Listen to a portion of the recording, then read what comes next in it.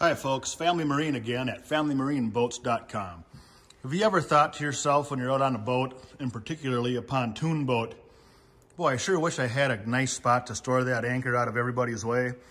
Well, the good folks at Barletta have come up with an ingenious solution for anchor storage, and it's down in the center nose cone, standard on Lusso model pontoons, and optional on the Corsas. On the Lussos, this storage compartment is also found in the back of the boat. Simply pop the floor hatch, grab your anchor and all the rope, drop it right down inside, and there you have it. A nice flat floor, the anchor's out of the way. To see more, visit FamilyMarineBoats.com.